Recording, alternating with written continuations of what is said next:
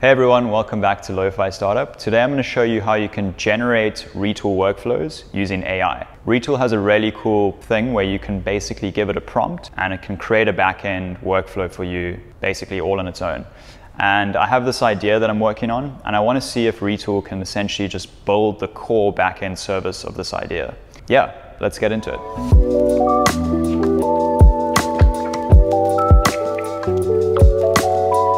Okay, so I have this idea called lazy weather.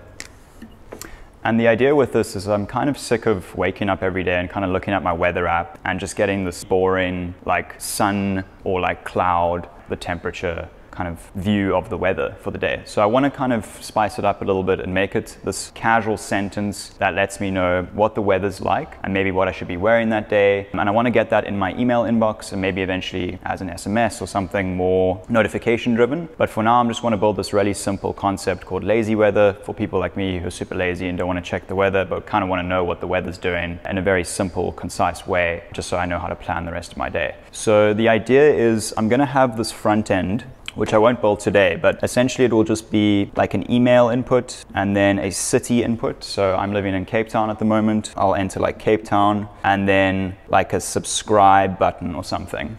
And then from there, what I'm going to do is pass this JSON to Retool and I'll store this information in a Retool DB. Then what I'm going to do is I'm going to build a Retool workflow that grabs that information and for each user sends them a daily weather forecast with a workflow. I'm not going to dive too much into building out the functionality to store data from the front end in a DB, but what I'm going to try to do is first see if I can get Retool to actually build the workflow that sends the daily weather forecast entirely using their generate workflow AI prompt builder thing. Let's see what Retool can do. Hopefully it kind of just works straight out the box because that would be really cool because then one of the backend services that I need for this idea will just be done which is really exciting. Okay, let's head over to the laptop and build this workflow. Let's see how quickly we can do it.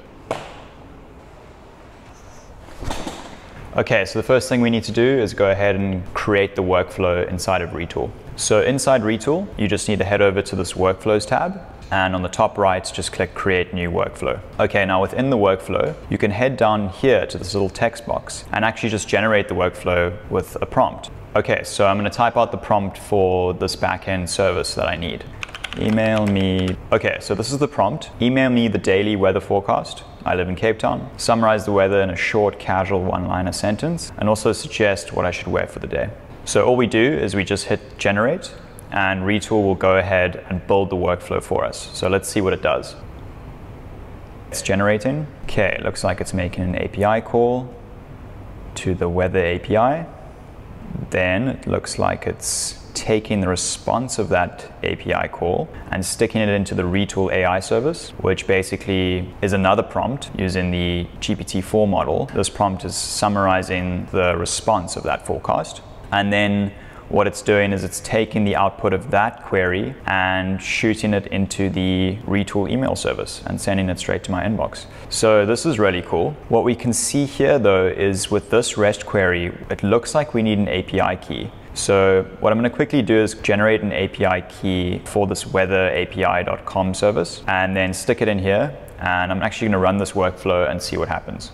Okay, so I set up a quick account with this weather API service. I'm gonna copy this API key. Don't worry, I'm gonna delete it. So don't think you can just spam my account. So I'm gonna copy this key and looks like I need to stick it into this query param over here. Okay, API keys in the query param. Looks like everything is good to go. Okay, so now I'm gonna go ahead, run the workflow, see what happens, see if it does everything that I asked it to do, and yeah, we'll take it from there. Okay, so to run the workflow, all you have to do is just click run in the top right corner here.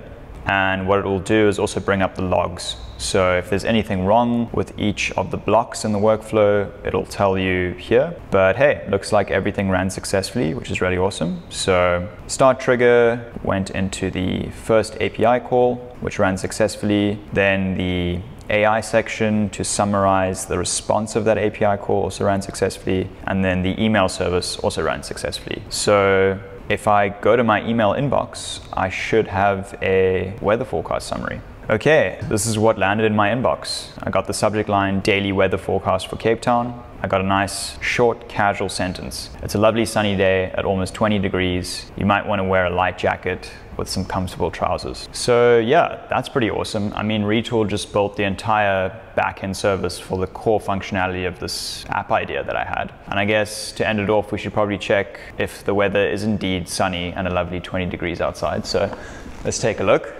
And as you can see, it is indeed a lovely sunny day outside in Cape Town today.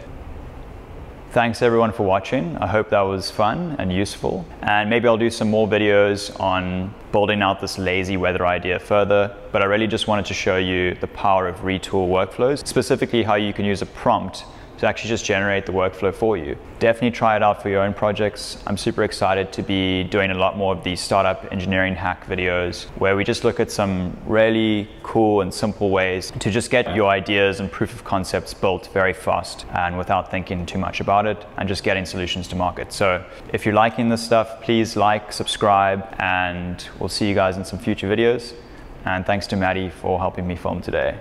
And yeah, thanks guys. Chat soon. Música